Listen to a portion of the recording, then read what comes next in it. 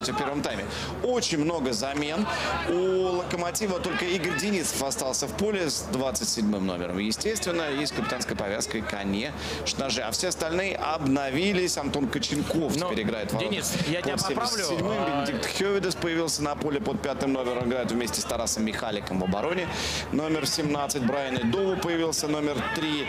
Также в составе теперь Дмитрий Тарасов 23 эм, Эдер 24 Тугарев 67 Михаил Лысов 84 Рифат Джамалединов под номером 96 1 1 Пока я все это перечислял, тут прилетел вот такой большой-большой привет от Дмитрия Баринова.